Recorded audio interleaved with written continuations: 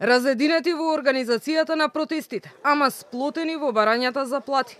Белите мантили, дел координирани од синдикални и гранкови организации, а некои спонтано, иако не престанаа со работа, за време на паузите излегоа пред клиниките и болниците на предупредувачки протест, за да ја побараат јануарската плата, која поради хакираниот систем на фондот за здравствено осигурување им доцни веќе десетина дена. Утрово, како што посочија само иницијативно, Први излегоа неколку десетици вработени во клинички. Не можеме да ги платиме сметките. Дел од нас се само храни родители, дел, двајцата партнери се вработени во здравствениот систем и сега истите тие немаат приходи во овој месец. Ние барам од надлежните во најкус можен рок да се исплати платата јануарска, која што е заслужена, и исто така бараме ова да не се повтори никогаш повеќе.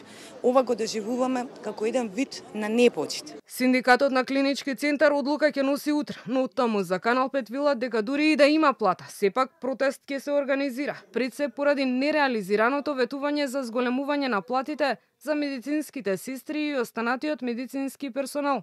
За штрајк се подготвува и вториот поголем синдикат во здравството одлуката која донесе Советот на самостојниот синдикат за здравство за протест во среда, значи 22 22 февруари е се во насока дека го избегнуваме на некој начин или напуштаме овој пристап на за да ве разбера треба и да ги разберете со цел да го искажиме нашето незадоволство за моментот до, до, до сегашниот момент, тоест до неисплатата на платата и неподпишувањето на анексот за покачувањето на платата.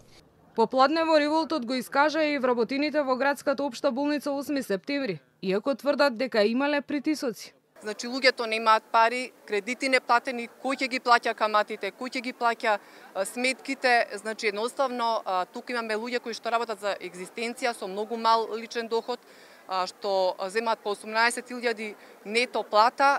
Дел од здравствените работници во специјалните гериатриски болници, пак поддржани од синдикатите од натришноста, најавија и блокади на влезот на Скопје, ако надлежните не остварат средба со нив.